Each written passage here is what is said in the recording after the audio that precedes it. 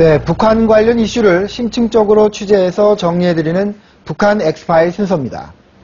태양절 축제 이후 북한의 대남 도발 위협은 그 내용이나 형식 면에서 과거와 다른 점이 많습니다. 남북한 사이의 긴장은 지난해 12월 김정일 국방위원장 사후부터 고조되어 왔는데요. 이 시간에는 통일연구원 북한연구센터 정영태 선임연구위원 모시고 향후 북한의 대남 정책 향배에 대해서 이야기 나눠보겠습니다. 박사님 안녕하십니까? 예, 안녕하십니까. 네.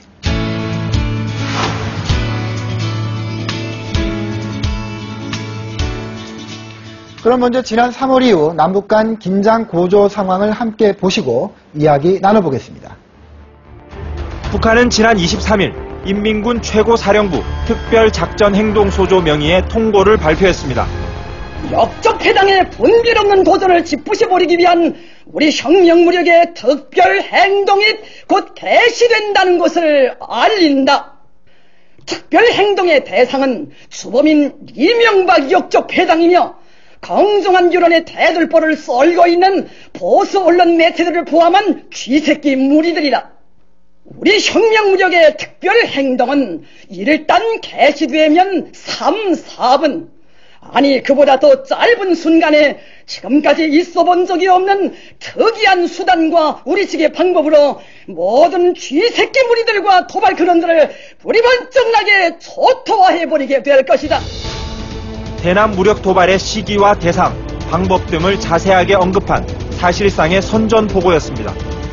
북한은 올해 3월 초부터 공격적으로 변하기 시작했습니다.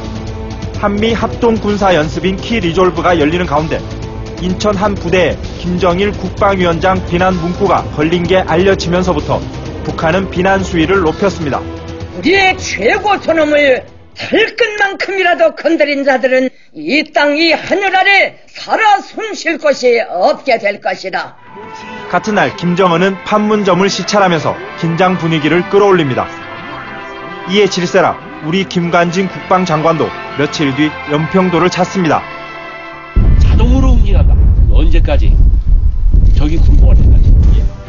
같은 달 17일 북한이 장거리 로켓 발사 계획을 발표하자 긴장 수위는 최고조로 높아집니다.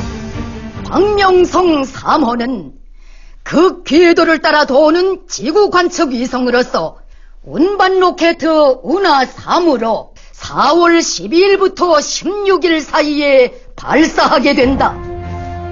이달 13일 로켓 발사는 실패했고 우리 정부는 북한 주민 1년치 식량 비용이 날아갔다고 북한을 자극합니다. 이틀 뒤인 15일 북한은 태양절 기념 열병식에서 새 장거리 로켓을 내놨습니다. 이어 18일에는 인민군 최고사령부가 성명을 내고 이명박 정권과 남한 언론에 대한 특별 행동에 들어간다고 밝혔습니다. 우리 군은 20일 김정은 집무실 창문도 타격할 수 있다는 순항 미사일을 공개했습니다. 북한 전역에 우리가 원하는 장소와 시간에 대상물을 타격할 수 있습니다. 다음 날 이명박 대통령은 통일교육원 최고위 과정 특강을 자청해 대북 강경 발언을 쏟아냈습니다. 집단 농장할 게 아니라 그냥 쪼개가지고 각자 농사 지어가지고 나라에 바치고 바치고 너 가지, 가지라고 하면은 농지 개혁과 함께 민중 봉기와 인권 문제도 거론했습니다.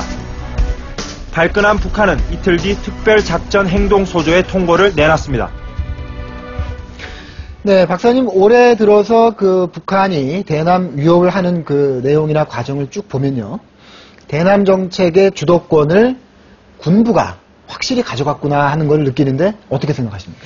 예, 저도 그런 게 동의를 합니다. 아, 먼저 그 인물 차원에서 군부가 아, 그 행하는 그런 측면도 사실 있고, 그 다음에 대남이라든가 대외 정책, 그 대내적으로도 마찬가지입니다. 소위 그 성군 정치라고 하는 것은 단순히 군사력 강화를 우선한다는 이런 정책에 대해 가지고 군대를 앞세워서 군대를 활용해 가지고 군대를 수단으로 해서 대내적으로는 체제를 공고하고 대외적으로는 여러 가지 그 군사적인 어떤 위협 수단을 활용해 가지고 어, 소위 그 남북한 관계에 있어서는 남북한의 주도권을 또 잡으려고 하고 주도권을 잡는 사이 어, 그런 과정에서 남북한 관계 개선하겠다 이런 거거든요. 마찬가지입니다. 대미 관계에 있어서도 에, 군사적인 어떤 형태로 어, 미국을 위협하고 또 이런 위협을 통해서 협상을 유도해내고 그러니까 북미 간의 어떤 사이 그러니까 이런 과정에서 군부가 주도적으로 행사하고 있다는 것은 뭐 이미 이렇게 알려진 사실이기도 하고 또 사실적으로 나타나고 있겠습니다. 네. 이명박 정부 어, 출범 이후에 어, 남북한이 서로 대화를 하기도 하고 또 무력 충돌을 빚기도 하고 이랬습니다만은 처음에는 어쨌든 통전부가 조금 대화를 하려고 했었고요. 보위부도 남북 대화에 좀 관여한 것 같지 않습니까? 그러니까 지금 네. 통전부하고 보위부는 이 남북 관계에서 완전히 손을 뗀 그런 상태로 보이나요? 예, 통전부라든가 그 보위부, 이뭐 나름대로의 그 역할은 있을 겁니다. 아, 그렇지만 남북한 관계에 있어서 이 정부 현재 어, MB 이명박 정부 들어와서 나름대로 그 원칙을 고수하고 뭐 이전과 같이 자기들이 들어달라는 어, 원하는 대로 이것을 그 들어주지 않고 나름대로 원칙을 경제하면서 그 저- 대북 정책을 쓰고 오고 있으니까 그렇다면은 이제 북한 의도대로 이것이 안 끌려가고 있거든요. 자 이것을 인위적으로 어, 바꾸기 위한 소위 그, 어, 현 MB 정부의 대북 정책을 인위적으로 바꾸기 위한 나름대로의 전술을 쓰는 겁니다. 자 이거 쓰기 위해서는 어떻게 하느냐? 이전까지 뭐 예를 들어 자기들 구걸한다든가 애원한다든가 이런 것이 아니라 오히려 군사적 수단을 활용해 가지고 우리를 위협하는 그럼으로써 인위적으로 이것을 바꾸려고 하는 거죠. 자 이렇게 봤을 때 남북한 관계라든가 이런 것을 주도적으로 움직여 나가고 하는 것은 역시 에, 그 정찰 총국이라 해가지고 이 정찰 총국에 있어서 이거는 민간이 하는 것이 아니고 소위 김영철이라고 상장 김영철이가 아, 이것을 그 주도하고 그 다음에 이런 대남 어떤 이런 그 관계라든가 이런 것을 군사적 압력 수단을 직접적으로 활용하고 이것을 주도적으로 이끌어가는 그런 형태로 어, 하고 있는 것으로 볼 수가 있습니다. 네, 그러니까 군이 어, 꿈꾸는 남북 관계라는 것은 이제 군사적으로 남한을 제압한 다음에 위협한 다음에 대북 정책을 바꾸라 이렇게 하는 것이고 예, 바로 그 내용 중에 에, 보면은 아주 그 중요한 게 들어가 있는데 그것이 바로 뭐냐면은 자, 그 북한이 계속 이명박 정부 들어와서 계속 남북한 개선을 해야 된다, 하자, 하자 하고 하면서 굉장히 강조를 해왔습니다. 그러나 우리 그 일부 뭐 전문가들도 그 우리 국민 많은 국민들도 아, 북한이 남북한 개선하자고 하니까 상당히 그 전향적으로 그걸 아주 우호적으로 받아들이는 경향이 많은데 그런데 남북한 관계 개선 요구라는 거 그게 하나 빠져 있습니다. 그 전제 조건이 있습니다. 그게 바로 뭐냐면은 남한을 군사적으로 제압한 상태에서 사상적으로 제압한 상태에서 남북한 관계 개선을 하자는 이런 거거든요. 그렇다면 뭐냐? 군사적으로 제압하고 있다는 북한이 군사적으로 우위에 있다는 것을 남한에 인식시키는 것이 먼저입니다. 그래 하기 위해서는 어때요? 군사적으로 위협을 해야 됩니다. 예를 들어서 서해 연평도 도발이라든가 그 다음에 여러 가지 핵실험이라든가 또 미사일 시험 발사라든가 이런 것을 먼저 시위하고 이것을 근거해 가지고 남북한 관계 개선을 하자는 것은 바로 뭐냐면은 이 그 남북한 관계에서 북한이 주도하는 상태에서 남북한 관계 개선을 하자 이런 뜻입니다. 아 예. 김정은이 그 어, 공개 연설을 하면서 대남 정책의 어떤 그 원칙 비슷한 걸 밝히긴 했습니다만 네. 아, 김정은 판 대남 정책은 이럴 것이다라고 우리가 추정할 수 있는 어떤 자료나 뭐 근거들이 있습니까? 아직까지 실질적으로 나온 게 사실 없습니다. 물론 이제 에, 지난번 그4.15 때, 태양절 때, 에, 그 군사 프레이드 하고 할 때 한 20분간 얘기하는 내용 중에는 뭐 직접적인 건 사실 없다고 볼 수 있어요. 통일과 관련된, 아, 사실 어떤 의미에서 그 원론적인 그런 걸 얘기했습니다.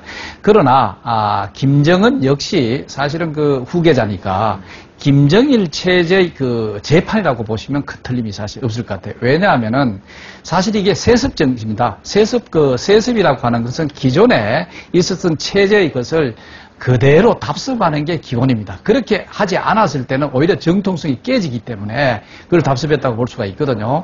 아, 그렇기 때문에 이 대남 정책에 있어서도 기본적으로 어떻게 하느냐 하면은 바로 군사를 앞세우는 겁니다. 또 모든 군사로 말하는 거죠. 군사로 위협하고 군사를 수단으로 해가 우리한테 뭔가 정책의 변화를 일으키게 하는 그런 겁니다.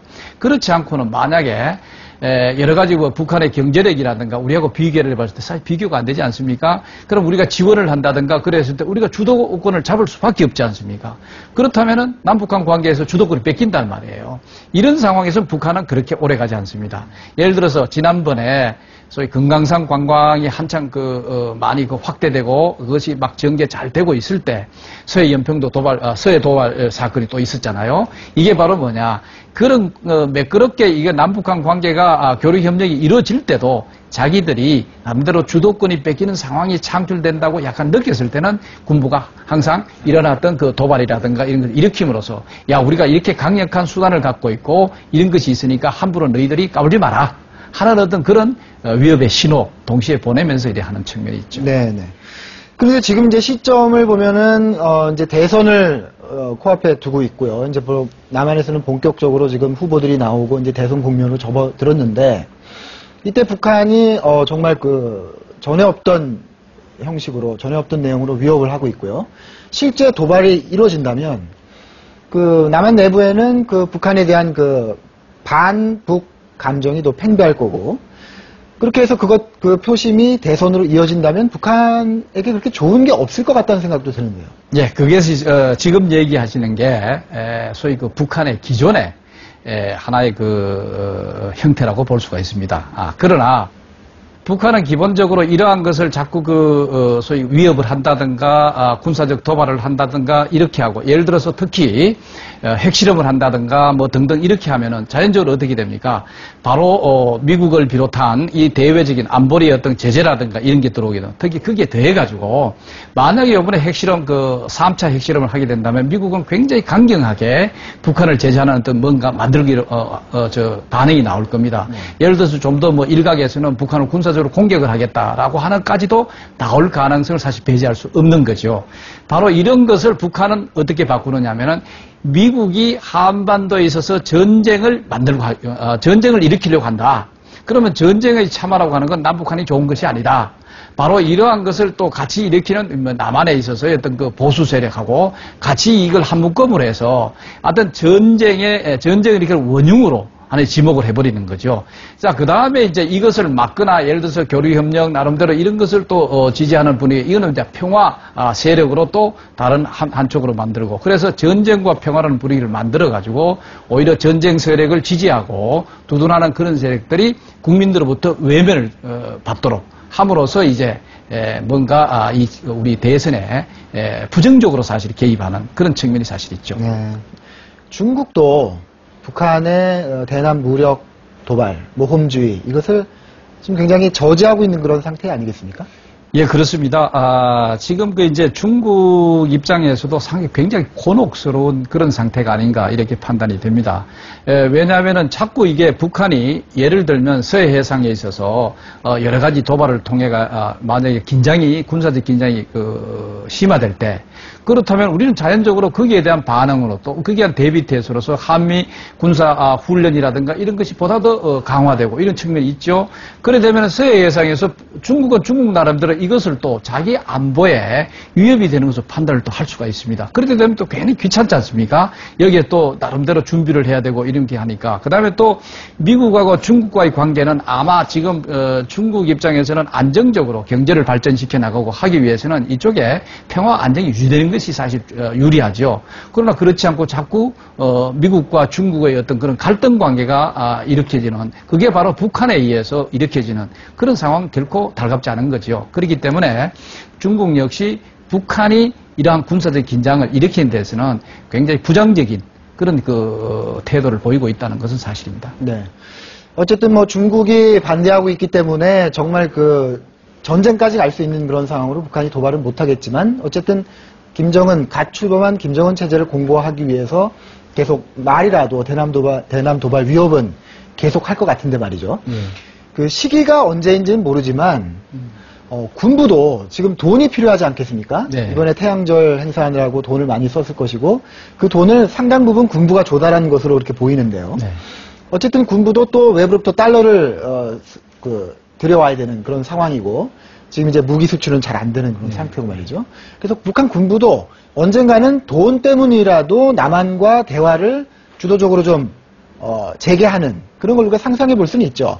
예, 바로 그렇습니다. 그 군부가 앞장선다는 것은 제가 모두에 얘기 드린 것과 마찬가지로 남북한 관계 개선을 통해서 우리의 경제적인 여러 가지 그 성장 이 자체의 그것을 자기들이 취하려고 하는 이용하려고 하는 것을 적극적으로 화- 그, 저, 태도를 보이고 있습니다.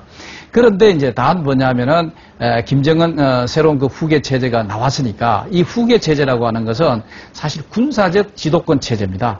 에, 군사적으로 아주 강력한 그 어, 지휘권을 가지고 아주 또 전략 전술에 능한 그런 새로운 지도자, 어, 김정일 국방위원장이 사실 그런 의미로서 국방위원장이 된 거거든요. 또 국방위원장 이름으로 그렇게 했다. 그렇다면은 이 새로운 후계 체제, 김정은 어, 차원에서 뭔가 아, 이런 것을 시위할 수 있는 또 뭔가 이것을 확인할 수 있는 어, 상황이 필요하거든요. 자 그렇게 하기 위해서는 남북한의 군사적 긴장을 조성하고 그 다음에 미국과의 뭔가 갈등 관계를 일으켜서 뭔가 미국과 나름대로 협상 전투라든가 이 전투를 하는 그런 상황이 필요한 거죠. 네. 자 그런 과정에서 지속적인 어떤 그런 그 갈등을 만들기 시작을 합니다. 그 다음에 에, 앞으로 예를 들어서 남북한 관계 개선이나 미국과의 어, 대미 관계 개선 이것도 나름대로 큰 것을 터뜨려 놓고 그것을 나름대로 협상력으로 어, 만들어서 강화를 해서 다시 대화를 하자 이런 방법으로 나오거든요. 그래서 아마 아, 북한도 이제 핵실험하고 뭐 등등 이런 거 미사일 시험 발사하고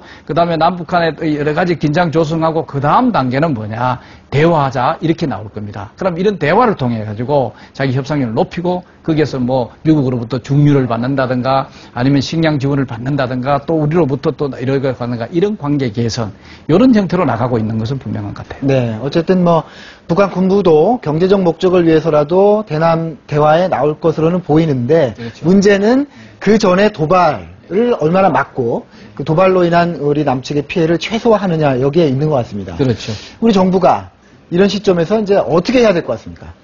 북한이 군사적으로 이렇게 우리를 위협하는 그 상황에 있어서는 우리 이것을 예를 들어서 위협으로 받아들이고 아 그러면은 좋으면 좋은 식으로 무슨 뭐 관계 개선을 하자 대화를 하자 이런 식으로 나가버리면은 앞으로 어, 이런 상황은 북한이 위협하고 우리를 변화시키라는 이런 태도를 더 심화시켜주고 더 오히려 그 북돋아주는 그런 결과가 오게 됩니다.